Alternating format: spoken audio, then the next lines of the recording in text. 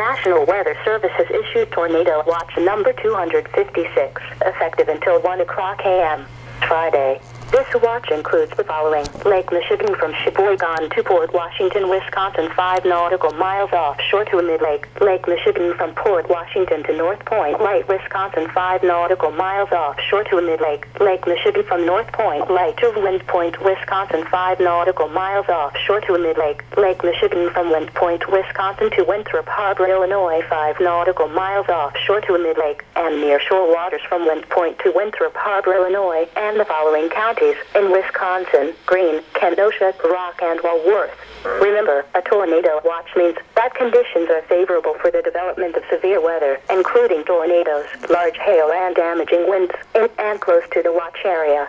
While severe weather may not be imminent, persons should remain alert for rapidly changing weather conditions and listen for later statements and possible warnings. Stay tuned to NOAA Weather Radio, commercial radio and television outlets, or internet sources for the latest severe weather information.